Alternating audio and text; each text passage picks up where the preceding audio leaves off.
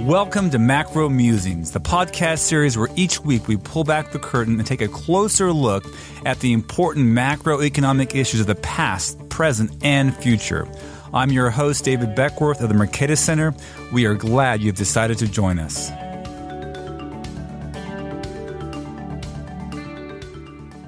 Our guest today is Paul Krugman. Paul joins us today to discuss the great inflation surge of 2021 and its implications for policy. Paul, welcome back to the show. Hi there. Good to be on. Yeah, it's great to have you on. In preparing for today's show, I went back and looked at our previous conversation, which was in 2017. And looking back now, much simpler times, we were worried about liquidity traps, you know, the anemic recovery, safe asset shortage. We even talked about Isaac Asimov back then. So much simpler times. And you know, what was interesting back then, I, I, think one of the key pieces of our conversation was this question that was looming was there sufficient or adequate aggregate demand back then? Was policy doing enough, fiscal and monetary, to speed up the recovery to get us to full employment? And from that perspective, if we flip it to today, the question is the opposite Is there too much aggregate demand? And I never thought we'd be in this place where we're having to answer and wrestle with this question. Yeah, and in a way, it's the political economy of this has been just wild. Not at all what I would have feared, what I would have expected. Of course, that's my guess is that two or three years from now, we'll be having the same discussion we were having in 2017. This is not a permanent state of affairs, but for now, at least, yeah, we are worrying about overheating, which is kind of a welcome change in some ways, although problematic in others. Yeah, absolutely. And I agree with you. I think the same structural forces that were with us before the pandemic that led to low interest rates, low inflation will be back on the other side. So I agree with you on that point there. The other thing that's really interesting about this day and age is just how quickly you alluded to this in your article that we're going to base our conversation off today, but how quickly inflation has become such an important issue. I mean, as you mentioned in your piece in the New York Times, that inflation just a few months ago wasn't this poignant of an issue, but now it's front and central. It has arguably caused the big Powell pivot. Any thoughts on how rapidly public opinion has changed on this. And moreover, it has political implications too, right? So, any thoughts on that part of it?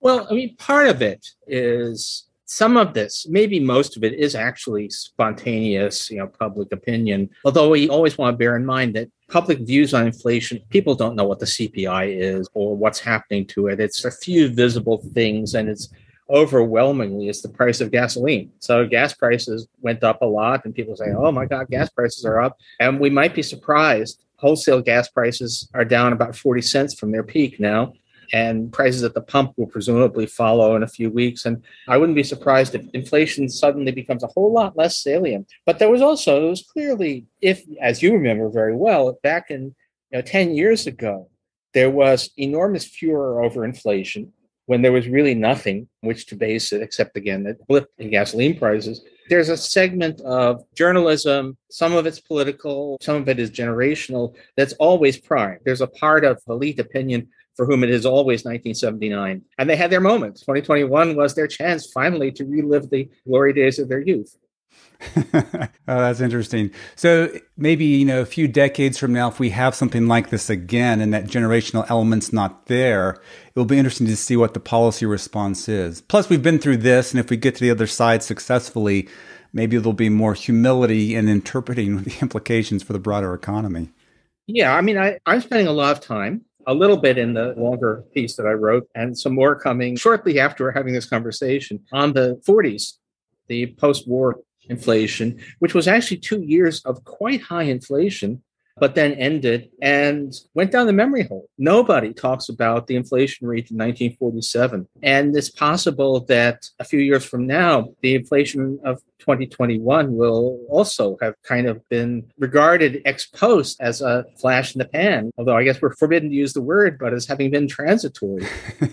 That's a good point. I've been looking for synonyms, and there are some words I didn't know, but fugacious turns out to be a synonym. Maybe in the end, we'll regard this as a fugacious inflation. Now, that's an interesting point because if we look back to 2008, which you do in your article, and we'll come to your article in just a minute, but in 2008, many at the FOMC were also screaming high inflation because of commodity prices, right? And that ended pretty quickly. And we seem to have forgotten that as well. We don't see many people looking to that as a baseline or a reference point in this conversation. Partly, of course, there's I think there's a fallacy of misplaced concreteness. And this one is not all about commodity prices, although about things that in a lot of ways are behaving like commodity prices. So Right.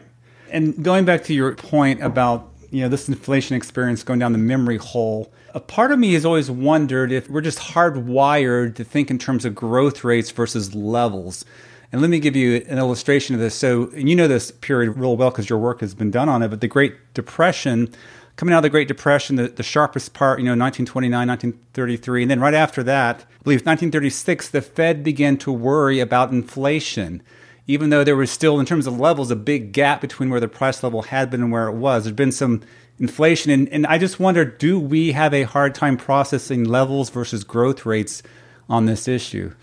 Probably. You know, I remember when gas was, I actually should know this, tells you that I don't drive all that much, but people remember gas prices the summer before last when they were really depressed because of the pandemic. You know, and where we are right now is well, gas prices are up. Actually, oil prices and wholesale gas prices, not yet retail, are at their levels of 2018. If the price of the pump ends up being the same as it was in 2018, will people still be saying, oh, look at gas is so expensive because it's up over the past year? Or will they say, well, it's kind of like, like normal? I don't really know the answer to that, but I do wonder. Yeah, very fascinating.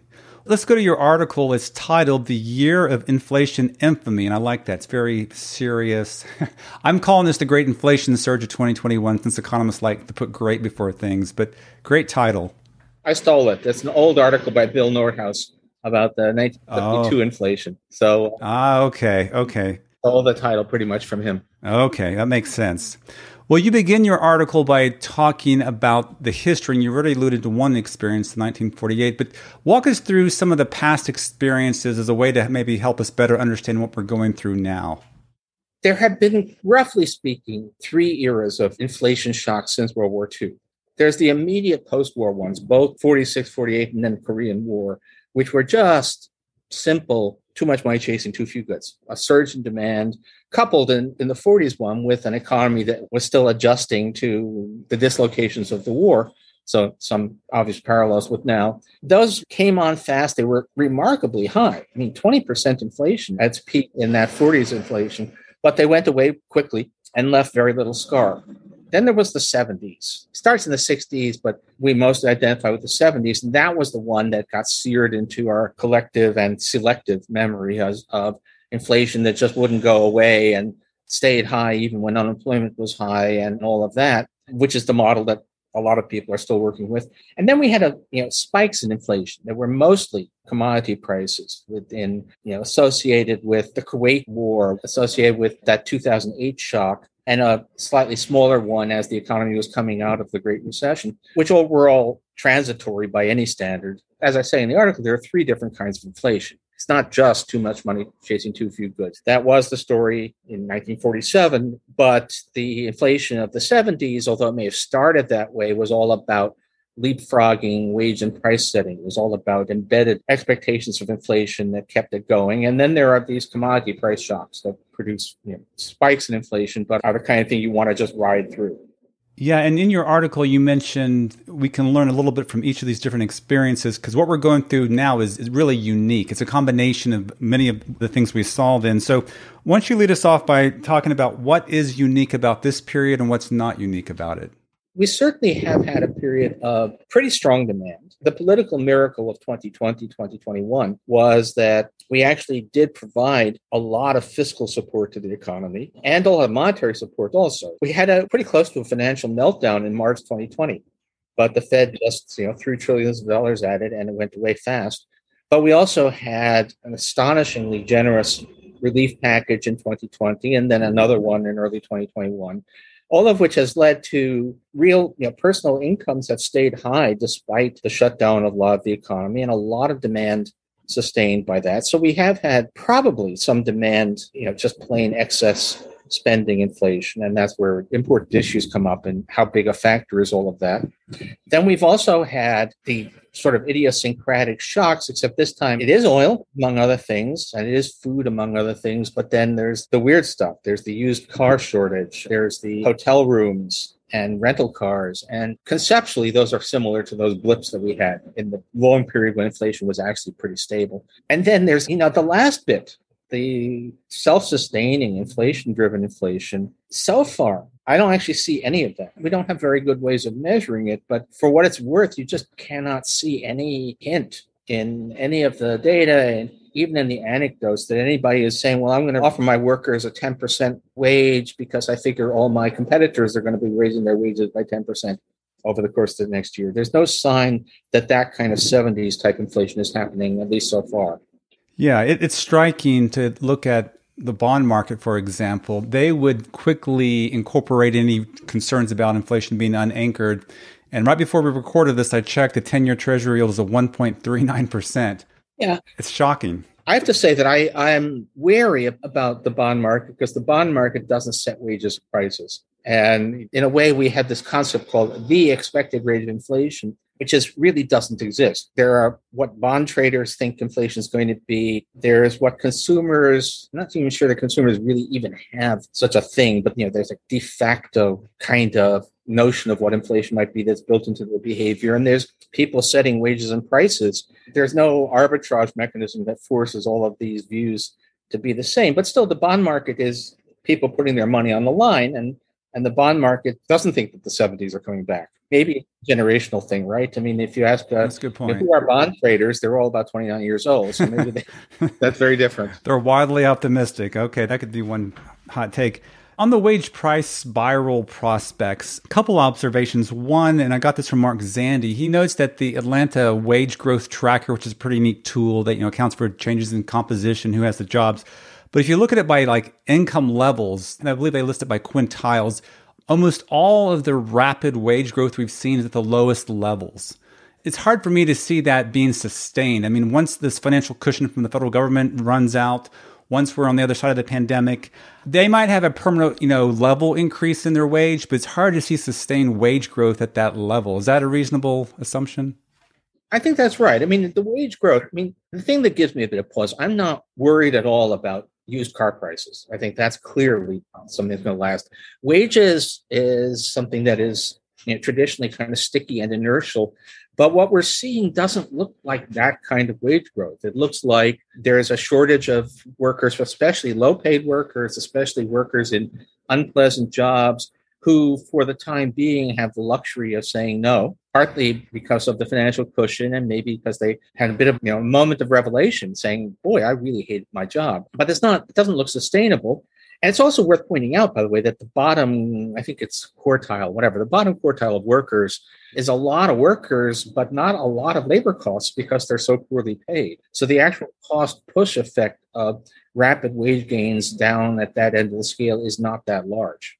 Yeah. The other observation about a wage price spiral is, and, and I may be wrong here, but it's hard for me to envision it just spontaneously occurring on its own. It's usually like endogenous. You think of like a, a really, you know, extreme case where you have hyperinflation. There's a reason why the wage price spiral occurs, right? The government is running fiscal policy really, really strong. Is it possible for a wage price spiral to emerge in the absence of really, really big fiscal packages?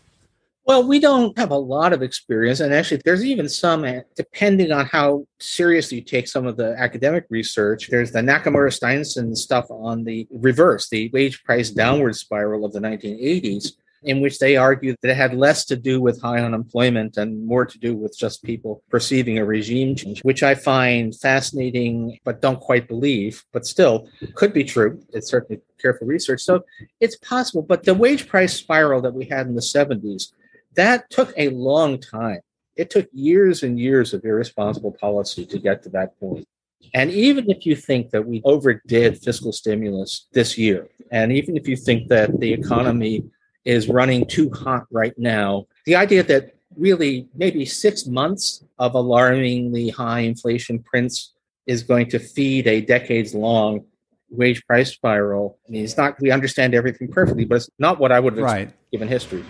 Yeah, I definitely need some perspective. I mean, the great inflation was from 1965 to the early 80s, almost 15, 16 years. So you're at a six month period compared to that long run puts things in perspective. The other thing I want to mention on this wage price spiral is again, you know, what do we have to help generate this? What we see currently, and that is these big packages last few years, right? We had the stimulus checks, we got the unemployment insurance that may have contributed to this. And moving forward, even with President Biden's you know, infrastructure bill, and if Build Back Better does become you know law at some point, many people look at that and say that's going to create inflation. But from where I stand, that's really a small, small percent of GDP moving forward. So it should be inconsequential one way or the other. Is that right? That's right people who should know better simply don't have a sense of the scale of the US economy. We're a, what is it, something like a $23 trillion economy. You have Build Back Better, if it happens, is going to spend something like 160 billion in the first year partially paid for with higher taxes which will depress demand. So the net stimulus is a fraction of a percent of gdp i mean i, I think the habit of quoting many budget measures as 10 year totals is really doing a lot of damage here because you say, oh, well, American Rescue Plan was 1.9 trillion and Build Back Better is 1.75 trillion. And but yeah, but one was immediate outlays and the other over a decade. And again, this is a CBO estimate of cumulative GDP over the next decade is 288 trillion. So that gives you some perspective there. I want to go back to this point about demand or aggregate demand and, and, the level of it. And, you know, many people like your friend Larry Summers was arguing in early 2021, we were just putting too much aggregate demand out there. And my reply would be to that point is that if you look at the level of aggregate demand, and you, and you mentioned this in your article as well, it's really where it would have been had there been no pandemic. So we're really right on trend. So you can imagine a world where there was no pandemic. We continue to grow along like we did prior to the pandemic, and inflation probably would still be low at the same size of the economy, same level of aggregate demand. Is it really the level of aggregate demand, or is it the composition of the demand that's driving this inflation?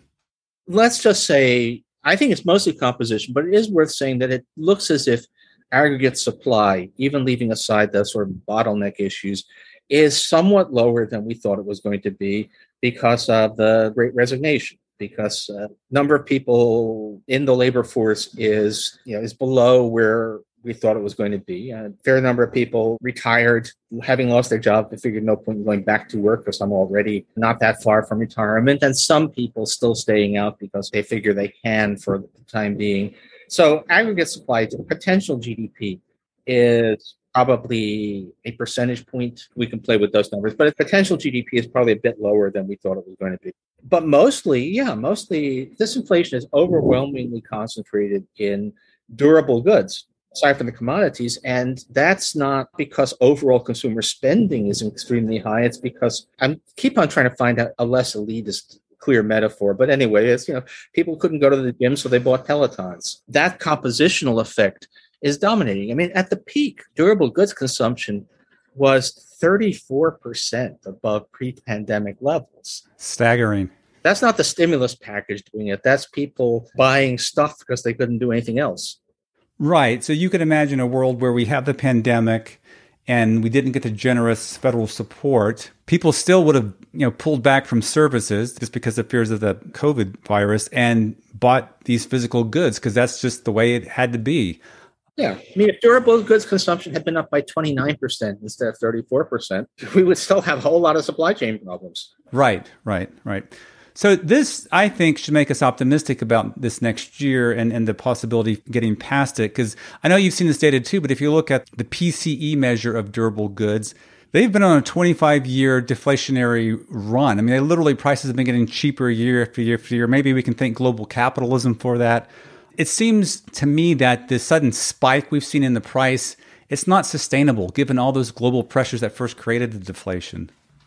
A lot of durable goods. I mean, part of it is just IT, but just in general, yeah, goods have tended to get not just relatively, but absolutely cheaper over time. And now we have this sudden shortage of basically difficulties in delivering stuff. But among other things, that's the kind of thing that we expect markets to fix, right? There are really strong incentives, and it's happening. It takes time. And most of the big retailers say that they have adequate inventory for the holiday season. The shipping rates have peaked, seem to be coming down. A lot of straws in the wind suggesting that a year from now, it will not look at all the way it does right now. Yeah, yeah. It's interesting is that, you know, many of the people who are, you know, big supporters of markets, myself included, but many of my market loving friends are losing their religion on this point, I think. They're losing their faith that the markets can solve this issue. At least they've lost sight of that one dimension, which has been interesting to observe. The other thing about durable goods, I guess I would make before we move on is there's only so many durable goods we can buy, right? I mean, I can only put so many TVs, exercise equipment, couches in my house. At some point, I am physically constrained. Well, I'm always suspicious of arguments like that. I mean, it's okay. true. And there's some hints of that out there. But you always want to bear in mind that there are particularly lower income people may not have bought all the stuff that they might have wanted to. And we are seeing much bigger wage gains at the bottom. So maybe you know you may have as big a tv as you could possibly want but maybe somebody at the 25th percentile of the wage distribution doesn't so i'm not sure about that one it's possible what i think may be happening is that people were compensating for pandemic restrictions by buying stuff are now getting sick of the stuff they bought apparently if you want to buy a, a used peloton on craigslist it's getting quite cheap very fascinating. I want to provide one uh, decomposition of the CPI number because it came in really hot, as you know, and you mentioned in your article, 6.8% in November. PPI came in almost double digit, but let's look at the CPI. And there's an analyst from Moody's named Ryan Sweet, and he did a decomposition of that number. And it's I think it's, it's very instructive to take a look at it. He shows 2.5 percentage points of that 6.8 was energy related. We know that's coming down. He also calculated 1.8% in supply chain constrained industries. And you know everything we've, we've talked about here. But if you go 6.8 minus 2.5 minus 1.8, the CPI would be at 2.5%, which is about where you would want the CPI you know, relative to the PC. It's always a little bit above the PC target. So it just seems very obvious to me, and again, maybe I'm being widely optimistic here, but that we are headed in the right direction. All the forces are there. Well, yeah, I mean, I've been looking at people who've been using a consistent set of categories to try and get through this week. You know, core inflation was supposed to do that, but it's not because of the peculiar components. But the CEA is doing a consistent measure that tries to exclude pandemic related stuff. Matt Klein has a Substack, and he's been doing that.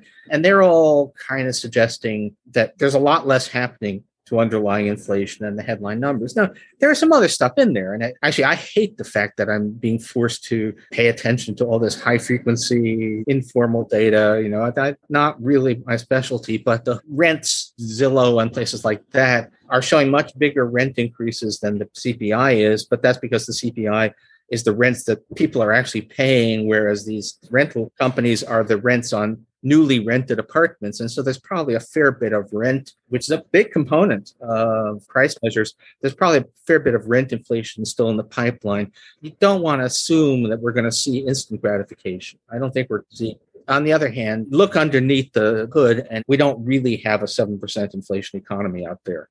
Yeah, most of the projections I've seen by you know different firms that, that look closely at this, including Moody's, is it's going to come down gradually. It's not going to be you know suddenly we're at two percent. And Mark Zandi actually spoke to this point about housing. Housing is the big thing that's still going to linger with us, as you mentioned. But he says, look, what that's going to do is it's going to maybe take the PCE from 1.6, 1.7 closer to 2. We'll be closer to target. That's his sense of its, its importance. Is it won't push us way above 2, but get us closer to 2 given the other disinflationary forces we might see. I wouldn't be shocked if we have a PCE that's still above three by the end of next year. But how bad is that, especially if there's pretty good indications that it, it is on its way down. And of course, that 2% target itself is a pretty weird animal. It's a, once you start to look into the history of it, it's pretty strange. So, of course, we could be wrong, but at the moment, it just does look like 1979. Yeah. Well, that's a nice segue into the next part of this conversation. And that relates to your article like, you know, how hard should the Fed move? How much should it squeeze?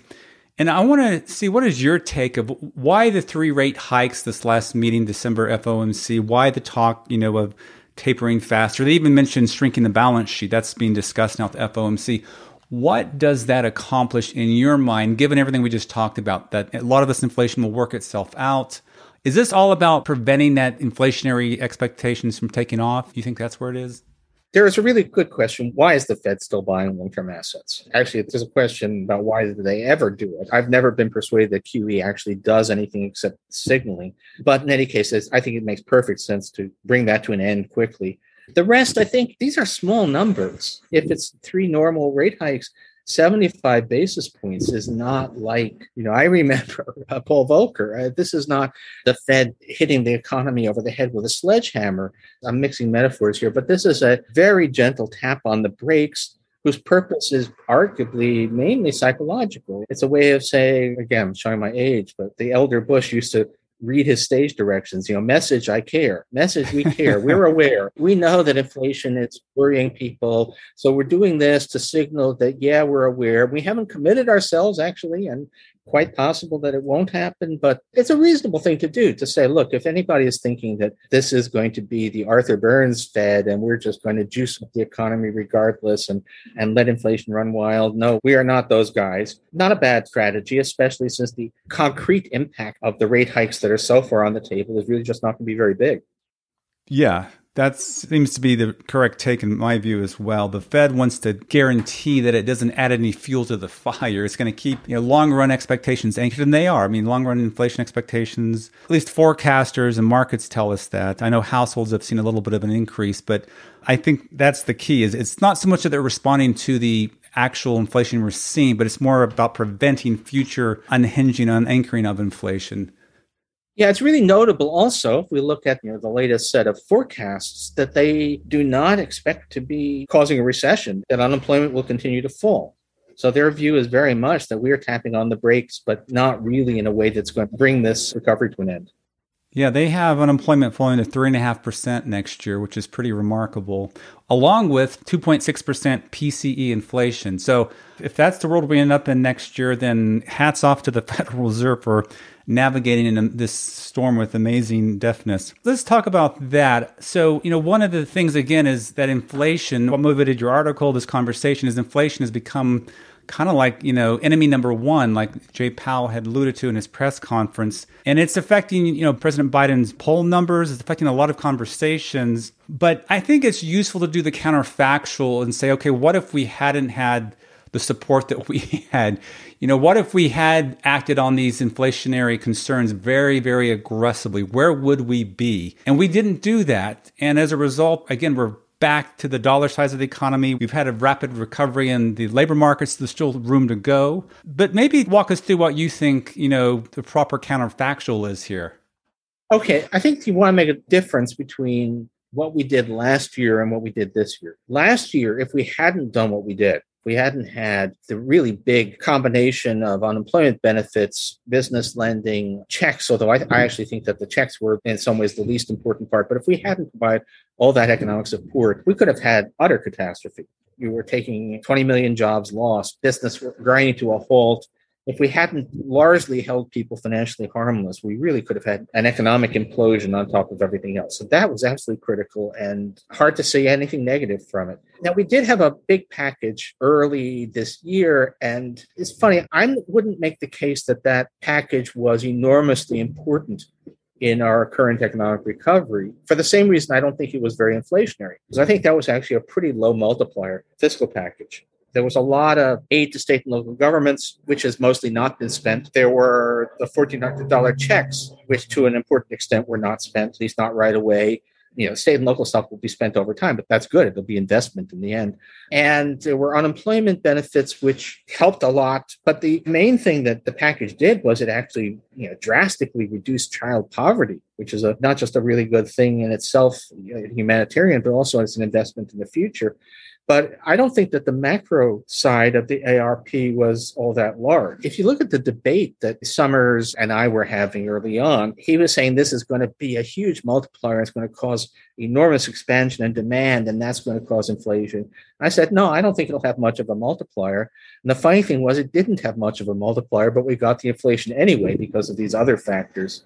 I would not give the ARP most of the credit for the really good job numbers, although I think in general, lots of fiscal support was critical in getting us through all of this. But yeah, I think that the counterfactual, if we hadn't had that package, is that we would have a little bit less job creation, which would be a bad thing. And we'd have a lot more individual financial misery, which would be a really bad thing. Okay. Going back to Larry Summers, so you guys had extensive conversations. I remember watching one that Markus Brunnermeier hosted. We got the inflation he said we are going to get. We got it for different reasons than he said we would get it. That's right. Yeah. I have to say, look, in the distant past, I've been on the receiving end of the same thing. I mean, lots of people thought I predicted the Asian financial crisis, when in fact, I predicted problems for Asia that were quite different from the ones that actually happened. That stopped me from getting a lot of undeserved credit. So, all right, it happens. Yeah, that's been my sense too. Is that not so much him, but some others out there who've been very vocal about this are saying, "See, I told you so," and it's not clear to me that they told us so in this particular context.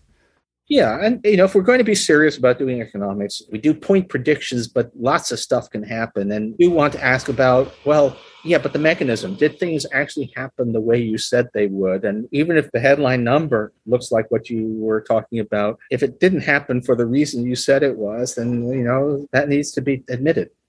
Right. We all make conditional forecasts and we need to admit as much when things change. All right. So, taking this counterfactual conversation to the next step, again, going back to 2020, not just 2021, but the world could have been a much worse place. Like you said, widespread bankruptcy, the mother of all financial crisis. Keeping nominal income stable, I think, was very important to accomplishing that outcome. But what's striking about it, and you mentioned this at the beginning of the show, is that it was even possible that there was a political support for it. And I want to just kind of go back and look at this from the context of the work that you did in 1998, your paper calling, I think, for something similar in spirit to what we saw. So maybe you remind us of your 1998 paper and does it fit what we saw in 2020? Okay, there are different pieces. And in, in a way, you know, my mm-hmm. 1998 paper really didn't talk much about fiscal policy, which I now have changed my views on that a little bit, mostly out of political economy reasons. I was all for very aggressive monetary policy and raising inflation targets. And I still think that the logic of that was right, but the politics of it turned out to be much harder than I realized. And fiscal policy turns out to be much more doable than I realized, although still problematic.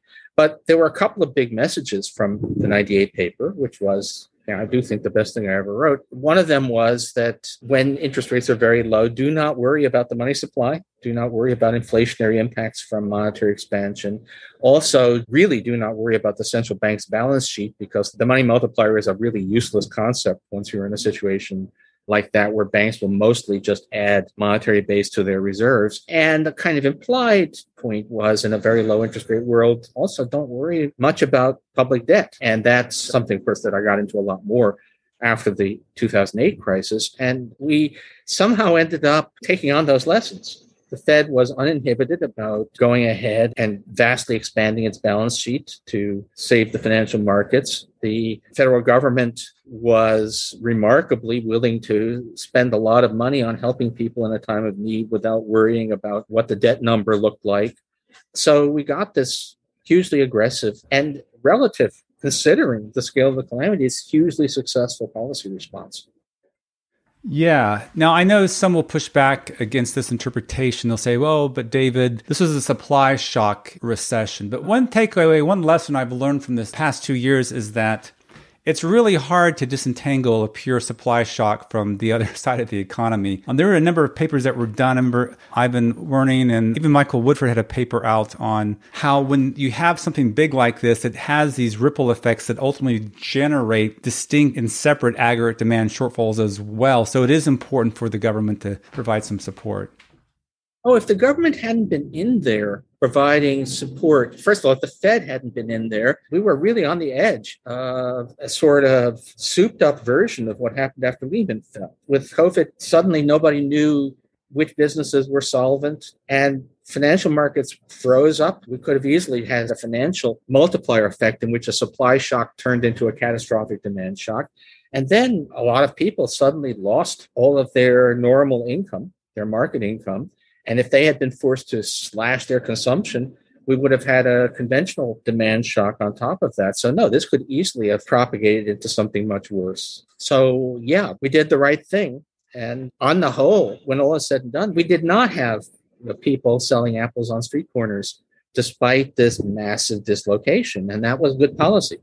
Yeah. And again, that's the kind of the counterfactual I, I want more people to think about is where we could have been compared to where we are and the trade offs involved in that. It is remarkable to me, though, that this willingness to do what was done. And again, going forward, you know, we don't expect it to be repeated like every year, but just during this crisis, it was done and in a way that's long run sustainable. You know, stepping back, you have your work, you have your colleagues at Princeton. My colleague now, Scott Sumner, wrote a paper titled The Princeton School of Macroeconomics, which was you, Ben Bernanke, Michael Woodford, Lars Svensson. I guess Gauti Eggertsson will be thrown in there as well. And he makes the point that everything you guys wrote about finally came to fruition 20 years later when the Fed adopted this new framework as well as the response we saw from the federal government. Is that, you think, a reasonable interpretation of history?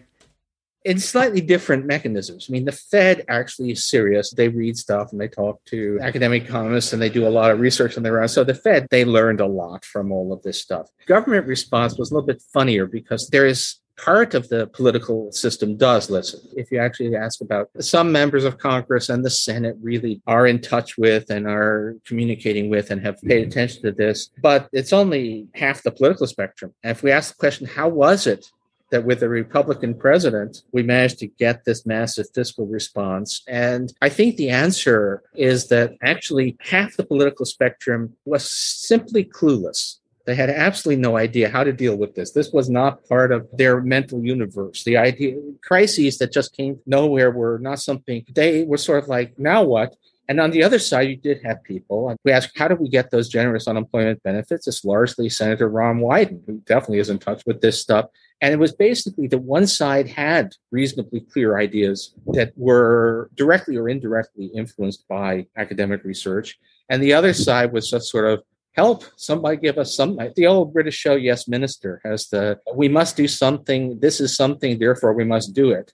And that's kind of what happened in 2000 and it worked out fine but i don't expect that that's not a mechanism you want to count on in the future yeah, so that's one of the things I wonder about is moving forward, will we be able to replicate what we did in 2020? And when I say replicate what we did, I, I want to think this more generally. I would call this policy mix a form of level targeting. So fiscal and monetary work together, keep the level of the economy on its trajectory. Do you think going forward, this is something we will continue to do? Will we learn from this lesson? Will it be internalized? Will it be able to be replicated, I guess, in future crisis?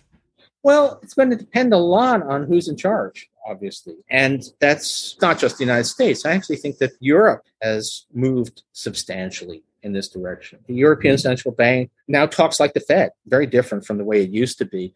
The Bank of England, despite they just had high rates, but they are also in the same universe. Some overseas governments depends a lot, but even the Germans are sounding almost reasonable these days. Here, you tell me, you know, who is going to be running things in the United States in 2025? I mean, as it turned out, Steve Mnuchin was a pretty reasonable guy on macro policy, which I don't think was would have been anybody's forecast, but it's also unlikely if it's a Republican administration that, that will get anybody that reasonable at Treasury. So we don't really want to talk about politics here, but it depends a lot. Look, if we're going to have a Powell Brainard Fed a few years from now, people like that, and if we're going to have people like Janet Yellen running Treasury and making policy, then yeah, we will get this. I mean, we have at this point a cadre of economic policymakers who have moved a long way from the kind of hard line, get price stability and everything else will fall in place view of the world.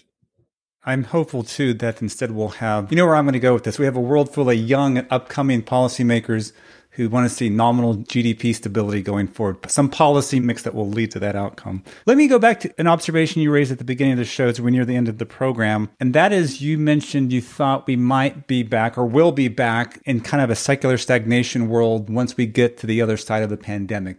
Did I hear that correctly? Why do you say that? What gives you reason to believe that will be the case?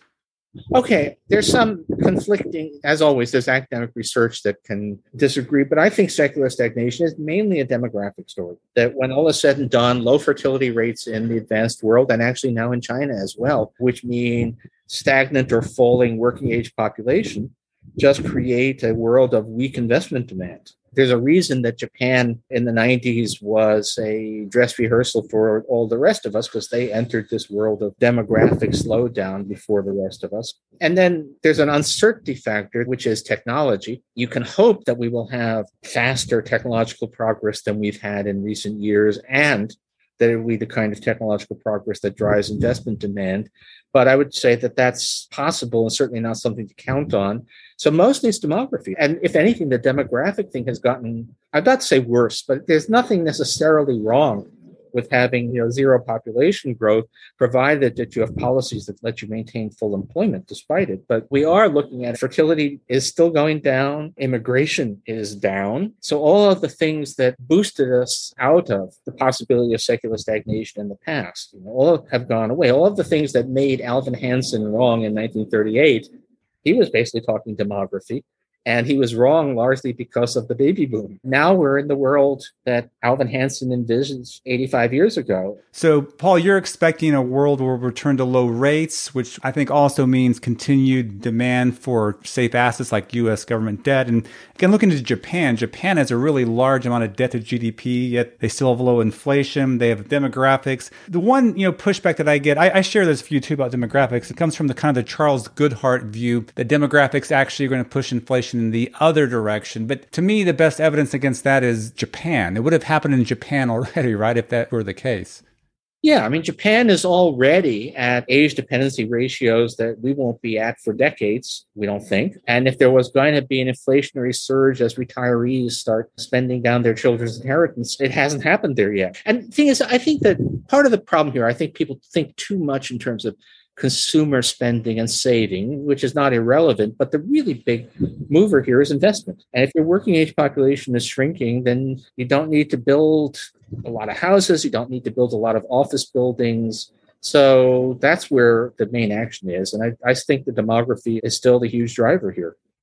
Yeah, it seems like it is. I mean, if, if China is having the same challenge that we've had, and we're having the same challenge that Japan has had, this will be with us for some time. Well, with that, our time is up. Our guest today has been Paul Krugman. Paul, thank you for coming back on the show. Thank you. Take care. Macro Musings is produced by the Mercatus Center at George Mason University.